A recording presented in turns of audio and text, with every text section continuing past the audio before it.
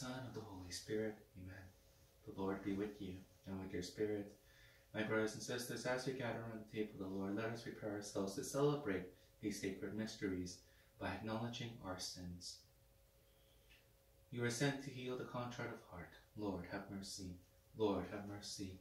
You came to call sinners. Christ, have mercy. Christ, have mercy. And you are seated at the right hand of the Father to intercede for us. Lord, have mercy. Lord, have mercy. And may Almighty God have mercy on us, forgive us our sins, bring us to everlasting life. Amen. Let us pray.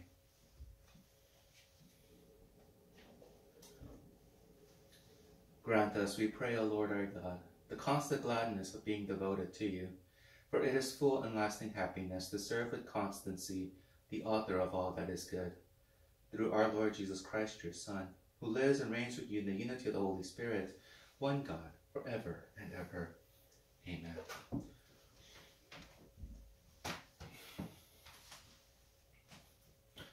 A reading from the book of Revelation. I, John, heard a voice from heaven speak to me. Then the voice spoke to me and said, Go, take the scroll that lies open in the hand of the angel who is standing on the sea and on the land. So I went up to the angel and told him to give me the small scroll. He said to me, Take and swallow it. It will turn your stomach sour, but in your mouth it will taste as sweet as honey. I took the small scroll from the angel's hand and swallowed it. In my mouth it was like sweet honey, but when I had eaten it, my stomach turned sour. Then someone said to me, You must prophesy again about many peoples, nations, tongues, and kings. The word of the Lord. Thanks be to God. How sweet to my taste is your promise. How sweet to my taste is your promise. In the way of your decrees I rejoice, as much as in all riches. How sweet to my taste is your promise. Yes, your decrees are my delight, they are my counselors. How sweet to my taste is your promise. The law of your mouth is to me more precious than thousands of gold and silver pieces. How sweet to my taste is your promise. How sweet to my palate are your promises, sweeter than honey to my mouth. How sweet to my taste is your promise. Your decrees are my inheritance forever. The joy of my heart they are. How sweet to my taste is your promise. I gasp with my open mouth in my yearning for your commands. How sweet to my taste is your promise. Alleluia, Alleluia, Alleluia. Alleluia, Alleluia, Alleluia. My sheep hear my voice as the Lord. I know them and they follow me. Alleluia, Alleluia, Alleluia. The Lord be with you and with your spirit. Reading from the Holy Gospel according to Luke. Glory to you, O Lord. Jesus entered the temple area and proceeded to drive out those who were selling things, saying to them, It is written, My house shall be a house of prayer, but you have made it a den of thieves. And every day he was teaching in the temple area. The chief priests, the scribes, and the leaders of the people, meanwhile, were seeking to put him to death, but they could find no way to accomplish their purpose, because all the people were hanging on his words. The Gospel of the Lord. Praise to you, Lord Jesus Christ. As we approach the end of our liturgical year, our readings continue to exemplify and continue to make a point of reminding us of the importance of preparing ourselves for Christ's coming. And today in our gospel, as we hear Jesus entering into the temple area, he finds that the temple area, the place of prayer, has been cluttered and filled with people who are selling things, people who are making a fortune for themselves and not connecting to God. And Jesus, in his ministry, proceeds to clear out all those who are profaning the house of God. As we continue to reflect on the lessons, on the, on the reminders that the reading gives to us of preparing ourselves for Christ's coming, we recognize that one of the many steps that we are called to do in preparing ourselves for Christ's coming is clearing out those things in our hearts that profane our relationship with God. those things that clutter our connection with Him, whether it be our own personal priorities, our own personal desires that contrast and go against the desires that the Lord has for us. Whatever those things are that can keep us away from God, we are called to clear them away from our hearts. So, in order to help us and to facilitate our preparation to enter into Christ's kingdom when he comes again. As we approach the end of our liturgical season and prepare in just over a week to enter into the season of Advent, we will continue to hear these words of being watchful, of preparation, of being prepared, but also recognizing how we are called to prepare by clearing away those things that keep us away from God, clearing away those things that clutter our view of our Lord in our everyday lives. And as we let go of our selfish desires, as we let go of our own personal intentions, as we let go of the things that take place of the Lord in our hearts, we are invited to place the Lord back as the center of our life, to prioritize our relationship with Him once again through the reception, the spiritual reception of our Lord here in this sacrament of the Eucharist, and to grow stronger, more committed, more dedicated in our life of faith every day. And so, as we once again reflect the words of Scripture, which invite us to look inside of ourselves and to clear out the clutter of our spiritual lives, let us pray for that gift of perseverance, that gift of dedication, so that we may always commit to clearing those things that keep us away from God and instead bring in those things that allow us to remain committed to Him always.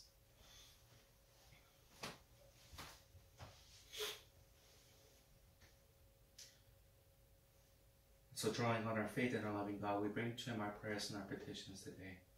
And so we pray for our church. May we always free ourselves of those things that keep us away from our Lord and bring ourselves to good habits and practices allow us to remain committed in faith. We pray to the Lord. Lord, hear our prayer. We pray for our country, for our nation. May we embrace every opportunity to be examples of peace and, and unity by being examples of understanding and compassion to one another. We pray to the Lord. Lord, hear our prayer. We continue to pray for all of our nurses, all of our doctors, all of our healthcare workers, that they may continue to be kept safe in the midst of their ministry of healing. We pray to the Lord. Lord, hear our prayer. We pray for all of our seminarians who are studying and discerning the priesthood at St. John's Seminary and Queen of Angels House of Formation. May their hearts always be kept open to the presence of God in their life. We pray to the Lord. Lord, hear our prayer. We pray for all those who are sick, all those who are struggling with or recovering from any kind of illness. May the Lord give them strength and healing. We pray to the Lord. Lord, hear our prayer. We pray for all those who have died and gone before us. May they come to share in the gift of God's eternal reward. We pray to the Lord. Lord, hear our prayer. And we pray especially at this Mass today for the needs and intentions of Carol Barone, and the needs and intentions of Mike and Erica Spicer and family, for whom this Mass is being offered. We pray to the Lord. Lord, hear our prayer. In the quiet of our hearts, are spoken aloud wherever we are, we bring to our God our own prayers and petitions today.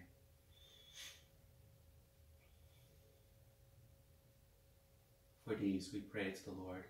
Lord, hear our prayer. Almighty and ever-loving God, you have called us to clear those things that keep us away from you. Listen, we pray the prayers we bring before you as we ask them through Christ our Lord. Amen.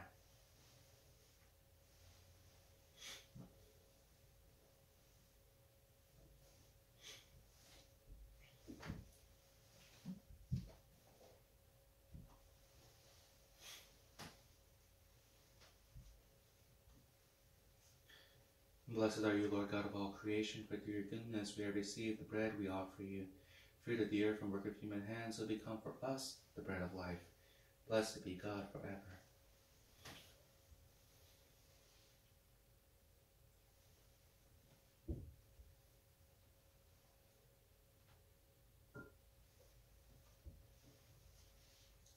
Blessed are you, Lord God of all creation, for through your goodness we have received the wine we offer you fruit of the vine and work of human hands, will become for us our spiritual drink.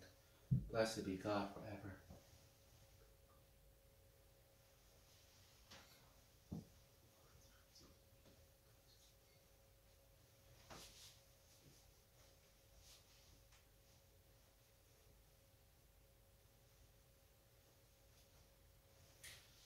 Pray, brothers and sisters, that my sacrifice and yours may be acceptable to God the Almighty Father. May the Lord accept the sacrifice at your hands for the praise and glory of his name, for our good and the good of all his holy church. Grant, O Lord, we pray, that what we offer in the sight of your majesty may attain for us the grace of being devoted to you and gain us the prize of everlasting happiness through Christ our Lord. Amen. The Lord be with you and with your spirit. Lift up your hearts. We lift them up to the Lord. Let us give thanks to the Lord our God. It is right and just. It is truly right and just, our duty and our salvation, always and everywhere to give you thanks. Lord, Holy Father, Almighty and Eternal God. For although you have no need of our praise, yet our thanksgiving is itself your gift, since our praises add nothing to your greatness, but profit us for salvation through Christ our Lord.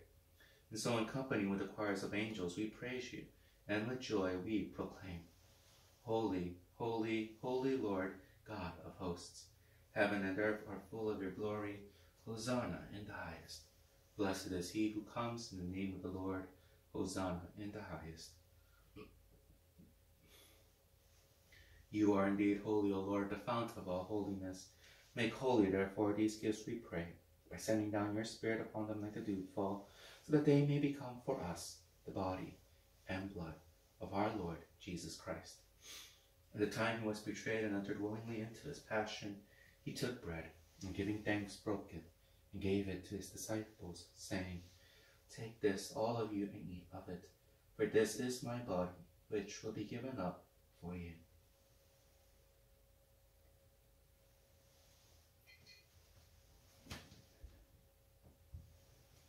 In a similar way, when supper was ended, he took the chalice, and once more giving thanks, he gave it to his disciples, saying, Take this, all of you, and drink from it, for this is the chalice of my blood, the blood of the new and eternal covenant, which will be poured out for you and for many for the forgiveness of sins. Do this in memory of me.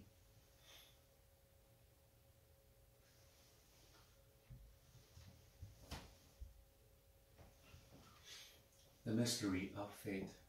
We proclaim your death, O Lord, and profess your resurrection until you come again. Therefore, as we celebrate the memorial of his death and resurrection, we offer you, Lord, the bread of life and the chalice of salvation, giving thanks that you have held us worthy to be in your presence and minister to you. Humbly we pray that partaking of the body and blood of Christ, we may be gathered into one by the Holy Spirit. Remember, Lord, your church spread throughout the world and bring her to the fullness of charity, together with Francis our Pope and Jose our Bishop and all the clergy.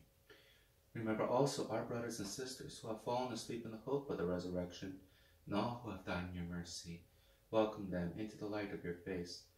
Have mercy on us all, we pray, that with the Blessed Virgin Mary, Mother of God, Our Lady of the Assumption, Blessed Joseph, her spouse, the blessed apostles, and all the saints who have pleased you throughout the ages, we may merit to be co-heirs to eternal life, and may praise and glorify you through your Son, Jesus Christ.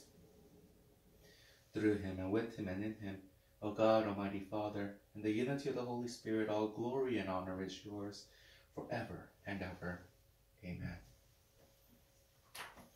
And at the Saviour's command, informed by divine teaching, we dare to pray, Our Father, who art in heaven, hallowed be thy name. Thy kingdom come, thy will be done, on earth as it is in heaven.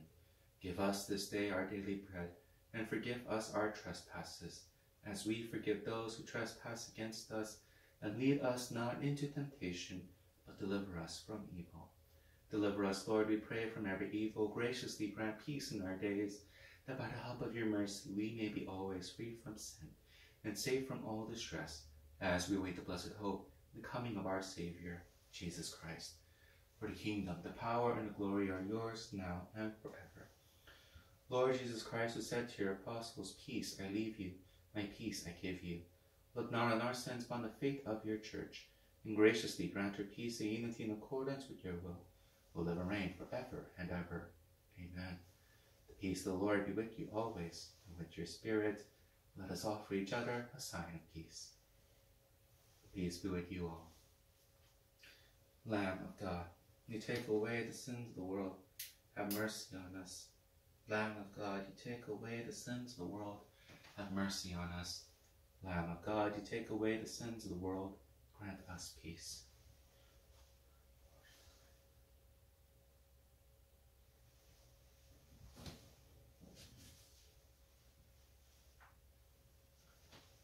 Behold the Lamb of God. Behold him who takes away the sins of the world. Blessed are those called to the supper of the Lamb. Lord, I am not worthy that you should enter under my roof, but only say the word, and my soul shall be healed.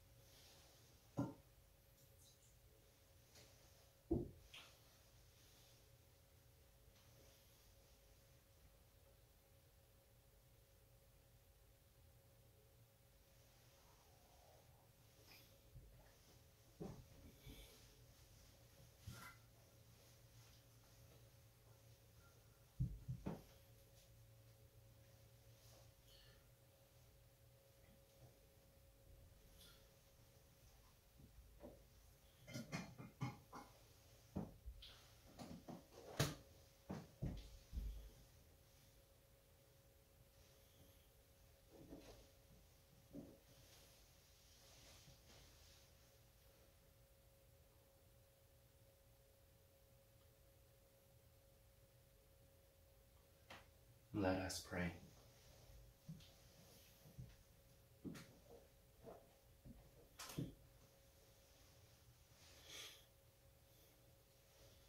We have partaken of the gifts of this sacred mystery, humbly imploring, O Lord, that what your Son commanded us to do in memory of him may bring us growth in charity through Christ our Lord.